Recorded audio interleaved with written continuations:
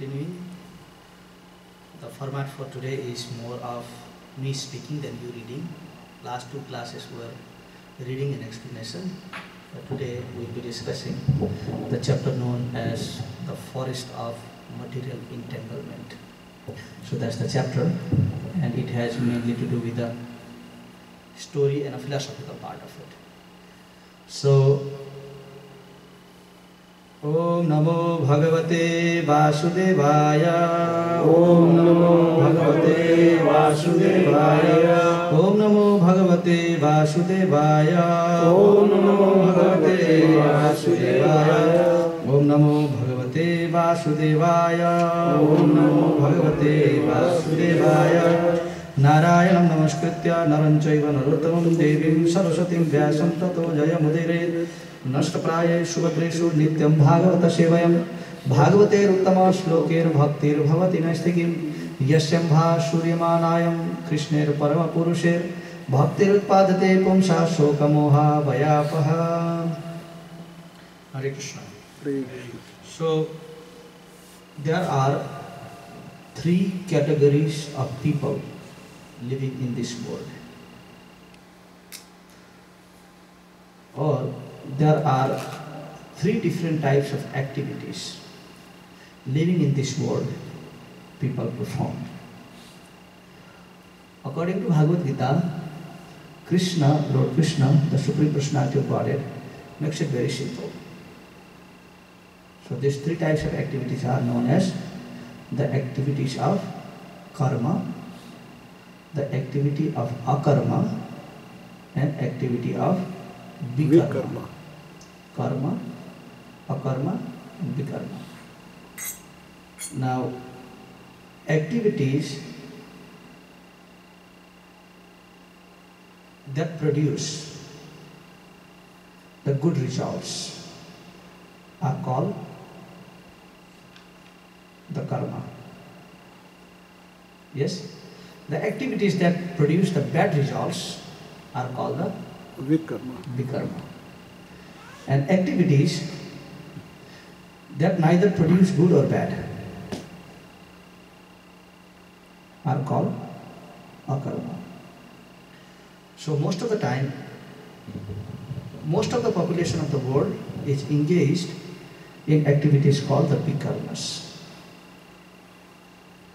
Vikarma means a forbidden action.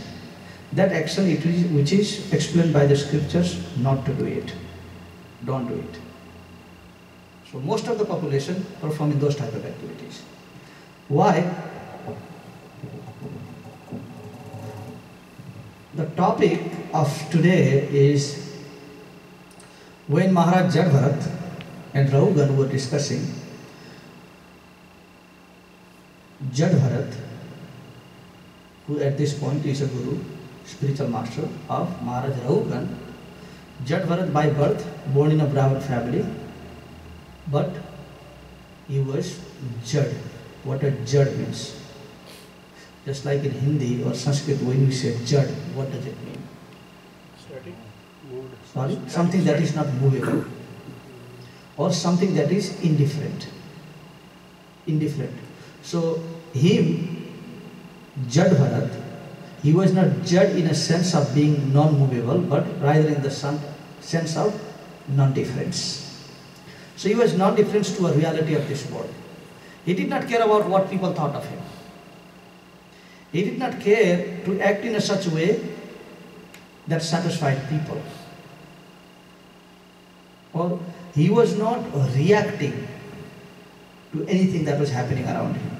So in that sense, non-different Jad Bharat. but there is a saying, when an intelligent person keeps quiet, thinking that there is no point of talking to a foolish man. That is a win for a foolish man. Say, a you know, self-realized soul or a devotee or intelligent person realizes, well, this guy is useless talking to. Okay, he is completely drunk. Anything that I say is not going to make any difference. So therefore, a self-realized soul will keep quiet now. Yes? Now, just because he kept quiet, what does the foolish person think? That I have won. Because I kept him quiet.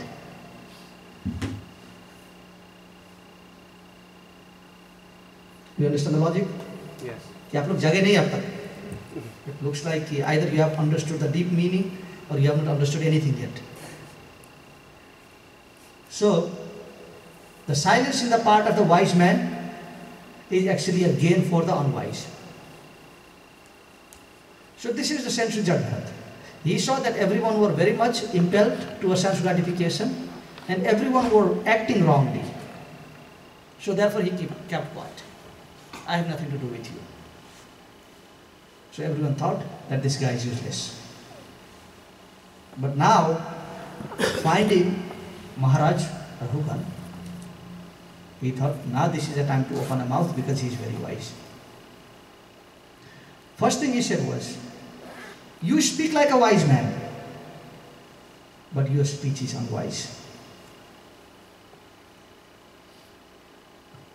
Yes? Position of a guru. What does the guru does first? Chastise. The duty of a parent doesn't begin with the flatter. You don't start with the flatter.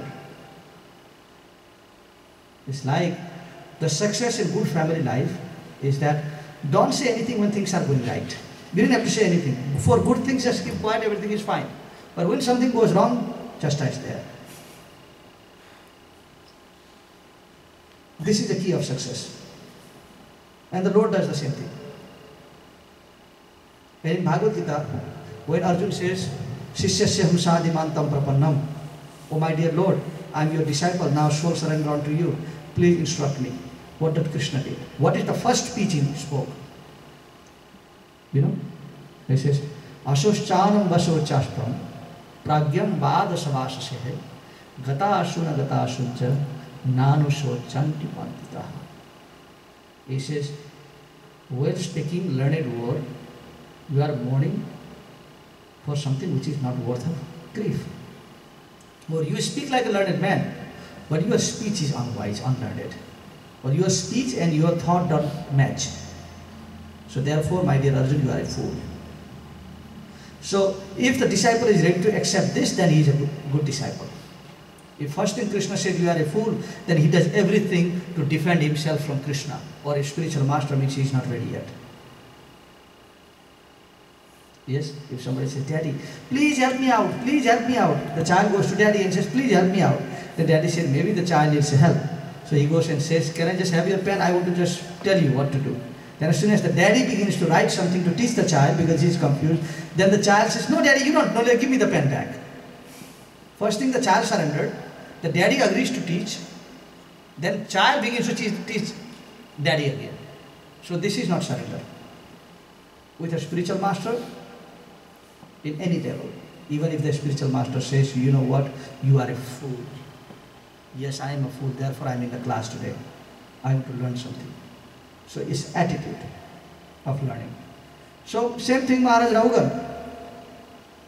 He said, My dear king, you look very learned, but you are not free from the concept of Dehatma Buddhi. You know what is Dehatma Buddhi means? Deha means the body. Atma means the soul. Buddhi means the intelligence. Accepting the body to be the self. The intelligence which accepts the body as a self is called the Atma Buddhi. Or in one word, thinking that soul simply because the soul has accepted a body. The soul has become the body. And now the entire judgment is based on the body, not based in the soul. Yes? So thinking the driver to be the car just because he resides inside the car, is it wise? Wise judgment? So who is the driver? Driver is different from the mechanical thing, the car. It's always different. But those people who concept in English, Sanskrit they call the Dehatma Buddhi, and in English they say bodily concept of life. or accepting the body to be the self. He said, My dear king, you have not even come out from that position yet. Why? Because all these different aspects in life, the form of a king, the form of the you know, messengers, the form of the servants, and form of the citizens, these are all covered, the soul being covered by the body. But in reality, everyone has the soul which is spiritual. Yes? As good as God. When we say as good as God, Prabhupada always says, remember, in quality, not in quantity. Okay, as good as God, but being covered by the body, which is the outcome of matter. Now, instead of understanding that I am actually being covered by the matter, people feel that it's not being covered by the matter, I am such, I am matter. So, this is the main problem. Now, the first part I said was the three way of performing activities are what? Karma, akarma, and vikarma. So, in order to pacify the body which covers the soul, after all, people think that the activities acquired by using the material body would make the material body happy because they already have the concept wrong. So they think that material things are going to make me happy. So now, happiness becomes the key. Everyone wants to become happy. Now, sometimes people derive a happiness by rejecting or going against the scriptures. Because happiness. Sometimes following the scriptures may deride you of the happiness. Such as getting up early in the morning. The Shastra says get up early in the morning, but unless you sleep up to 9 o'clock, you don't feel good. So therefore, reject that code of the scriptures. There is no problem, sleeping up to 9 o'clock. So now, Yes Shastra Viddimu Shirchet, Krishna says. They begin to reject the Vedic scriptures and act whimsically. The scripture says, eat meat. Yes, but what happened to the, my taste? So just to satisfy the taste of the tongue, we reject the scriptures. The Shastra said, Asatsanga Tyag, reject the association of non-devotees. Yes? Now if I reject the association of non-devotees, where am I going to get the pleasure from? So therefore reject, I can associate with anyone, any drunkards, anyone. And be happy. So some people reject the Vedic scriptures in order to become happy and they engage themselves in activity called the Vikarma. And some people are fearful of the consequence. People say karma. What goes around comes around. Every action there is reaction. Yes? So accepting this, people say that I don't want a bad reaction to my own activities. So therefore I want sense gratification, but avoiding the bad reaction of it. So therefore in order to fulfill the sense gratification, people engage themselves in religious activities. Or in other words, going to the temple in the form or with the concept of I can be free from papa and not get a reaction of sinful activities that I am doing. Or going to the church, whole day you commit a sin and one day you go in front of the priest and say, you say that, oh priest, I have committed a sin last week. Please forgive me for that sin. So go back and start sinning again. So basically, forgive me for the last week's sin, but I commit sin this week again. So this is called the concept of using the Vedic scriptures in order to acquire sense gratification. So at least it is better than the first one. Isn't it? Avoid the Vedic scriptures in order to enjoy sense gratification is the first one and accept the Vedic scripture in order to enjoy the sense gratification the second one. But what is the common on both? Sense gratification. And in order to enjoy sense gratification, what is needed there? Existence is required. So, in both conditions, either you follow the Vedic scriptures or you avoid the Vedic scriptures. But you will be impelled to taking birth again. Just like if you do a good work, the result of good work is what? The result of good work is what? Benefits. So do you need a life to enjoy the benefits? Yes. Yes. So therefore to enjoy the benefit, what do you need? Rebirth. You see, although this is this is karma, concept of karma.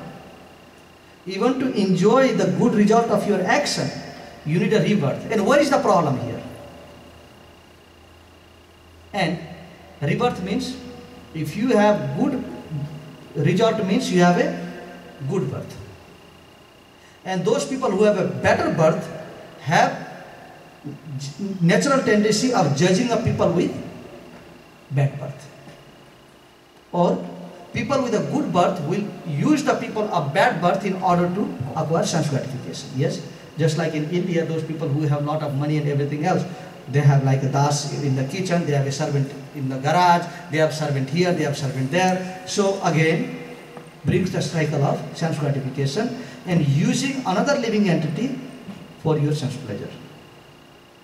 And devotional service means allowing every living entity to engage in devotional service and not depending in any living entities for self-gratification. That is devotional service. Only one person you depend on. Who? Krishna. Nobody else. And in self-gratification, you are depending on everyone else. Somebody else's sadness becomes your, oh, he is so lucky that he became a doctor. Yes? That doctor goes, unless the patients go to the doctor, where is the doctor going to make a money from? Therefore doctor says, oh God, yes, I'm so fortunate, but make sure you make some people, you know, so sick that they come to me and they have high bills. Although it's a good birth, but you exploit somebody of a lower birth in order to achieve your accomplishments. So this is called karma. Yes? Is it safe? You are still confused? No, it's clear. It's not safe. For any condition, you need a body. So therefore, Krishna says, reject the karma also. It's a, you know, some, you know, most of the people have this misconception of कर्मण्डे एवाधिकारस्य मा फलेषु कदाचन मा कर्म फले हेतुर्भुर मा ते संगीत कर्मणि Krishna says in Bhagavad Gita, how many people know this karmanivadhikarasya? How many of us? I would say 95% of people who are born in India and who the parents say, no, Sanskrit slokas you should memorize. If they know any Sanskrit, they know two slokas. कर्मण एव अधिकारस्य मा फलेषु कदाचन मा कर्म फले हेतुर्भुर मा ते संगीत कर्मणि और सर्वधर्मान् परित्यज मामेका शरणं व्रज अहं तं सर्वपापेभ्य मोक्षयिष्यामि मा शुचा. This is known by everyone. If you begin to learn Sanskrit, this comes to two. Yes? So normally people say karma, karma, karma, but Krishna is talking about karma very specifically here. And that's what Maharaj Raghugan is talking about. I thought instead of reading the slokas, I'm going to bring to the you know, wet cloth and just squeeze it out now. Otherwise you might just be confused somewhere else. So what Maharaj Raghugan is being accused here is that, my dear king, you are engaging yourself into good activities. Yes, you are doing the sadhu sangha, but in order to maintain your supremacy as being a king, who are you using? Who? The carriers. Yes? You are using them. You are taking the service of them. Either you might be doing good or bad with them, that's a different story. If you are doing bad, then you get what? You get karma or vikarma? Vikarma. You get vikarma. Now if you are doing good with them, then you get karma. But the common thing is sense gratification. And for sense gratification, you require another path. You are still not engaging yourself in an activity which frees you from this material body. You are engaging yourself in an activity that gives you another body, therefore you are not smart.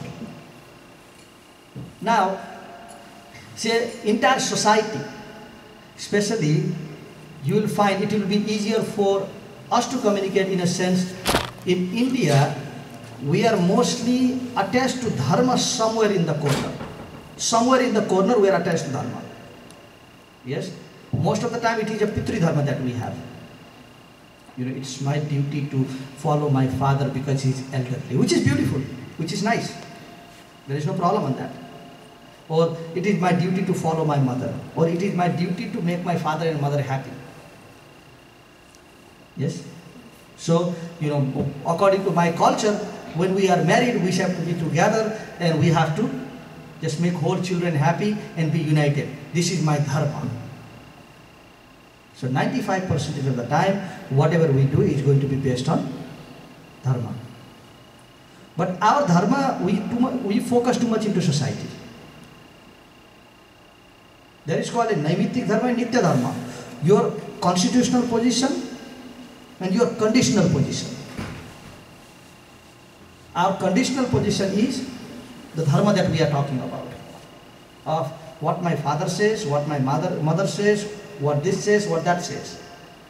So, it's never going to be free. Never going to bring anywhere to the freedom. Just like dharma will change according to the time and circumstance. When you are up to five, what is your dharma? Say when you are a child up to five years of age, what is our dharma then? Hmm? Just play and eat what you get from parents. That's the dharma that we are bound to. And once you become five, above five, then dharma adds up. You don't you know, demand too much respect from the young you know, children from under five. But after that, uncle comes, hey, Hare Krishna Namaskar bolo. Something adds up now as the time goes. Or dharma becomes what? Education, studies, homework. Hey, तुम्हारा धर्म एक ही है. My dharma is work. Your dharma is homework. But both are work. So there is a sloka. विद्यामित्र प्रवासेषु मातामित्रं गृहेषु च वेदितस्य मित्रधर्म मृत मृत मृतस्य च विद्यामित्रं प्रवासेषु So, who is the greatest friend of Sisu? Sisu means a kid child. Who is the greatest friend? Mother. Vidyamitra Pravasesu. And who is the greatest friend for people who go to college? The greatest friend. Your room partner or knowledge? If you are studying, what is the greatest friend? Knowledge. Okay, Vidyamitra. Then Prabha, Seshu. For the Seshu, it is Mother Prabha. Mata Mitram, yes, Mata Mitram. Griheshu cha, if he is at the house, mother is the greatest friend. Mata Mitram Griheshu cha, Veditasya Mitra Dharma. And who is the greatest friend of a person who is sick? Doctor. The doctor. Your dharma is changing now. You see, based on what position you are in. Veditasya Mitra Dharma. And for the person who is dying, who is the greatest friend? Now, if you if you are just sick, doctor, but now it is destined that you are dying, who is the greatest friend? Dharma. Dharma means devotion. If you are destined to die, the best friend of yours is devotion. Veditasya mitra dharma, mrita mrita, mritasya chaha. And once you die, what is the best friend? The piety. So the dharma will change according to different timings. So therefore, if we have just our regular dharma that we accept and we don't focus into the nitya dharma, the constitutional position, then it will be changing at every point. Okay? The duty of a son is to look after the father. Duty of the husband is to look after the wife. The duty of the father is to look after the children, and duty of the children is to follow the parents. So this is the dharma. But these positions are changing all the time also. Today's child becomes tomorrow the father. Isn't it? Tomorrow's father is going to be a grandfather. So his dharma is going to change again. So how many times are we going to change the dharma as the life goes? You understand? And if you give up the life, what is the dharma of the prisoner? Just be good as you are in prison. So it doesn't matter where you are, dharma is going to change. So therefore, what is the real dharma? That's what he's trying to focus. That you know, you are trying to focus so much into your occupational duties of regular dharmas that, my dear king, you are actually forgetting the main dharma. And what is the main dharma? Nihayat karma dharmaya na vairagya kalpate न तीर्थ नतीर्थ पादसेवयम जीवन अप्यमृतो हि सह the devotional service on to the supreme personality of God is the final dharma that will never change doesn't matter how old you are if you are chanting Hare Krishna mahamantra at the age of five what is your dharma has shoe become fifty five same thing it is in change our relationship with God has never change in any position our relationship with Krishna has never change will never change it will always remain same But every other types of dharma will change. Now, what is important?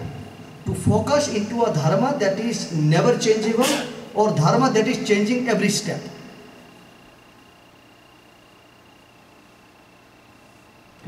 I guess you have to keep both. No, no, I'm not saying reject anything. rejecting one over the. I'm, I'm not saying reject anything. It's not a question of rejecting, but what is more important? That's what I'm saying. yeah, the constitutional dharma. Your constitutional dharma is more. But most of the time, we give up the constitutional dharma to accept the mundane dharma. That is the problem right there. So we forget to do that. And what is the cause? It's like, you know, oh, you know, I need to get to my office quickly. People don't want to give up the sleep, but they will give up their morning prayers. Sleeping time is no problem. I get up at 5 o'clock every day. It must be 5. But from 5.30 to 6 o'clock I used to chant. Let me just remove the chanting and leave at 5.30. So we sacrifice our constitutional position, but we do engage. But sometimes people forget the constitutional position as well as the normal position. And they belong nowhere. And they get engaged into bikarma. That is also very common. But however, just like what happened in the case of the hunter, Mrigari. You know the story of Mrigari? Mrigari was a hunter. He used to hunt in the forest. So one day, Narad Muni, he comes to the hunter and he says, What's your duty? What do you do? He says, I am a butcher, I kill animals in the forest. He said, You know what? There is a reaction to that because you are actually depriving somebody else from having their life. And you have to suffer the reaction for that. Do you know that? And he said, Yeah, but I'm not doing for myself. I'm doing for my families. Again, everyone does for family. I do for my family. Everyone does for family. And he said, But the question remains there is a reaction to it. Who is going to suffer that? Is it going to be collective or specific? Just because, say that you stole the money from the bank. Okay? But you distributed your family members, but no one knows how the money came. When the investigation comes through, they realize that you stole from the bank and others you took for the party to the restaurant. When the cops come to catch,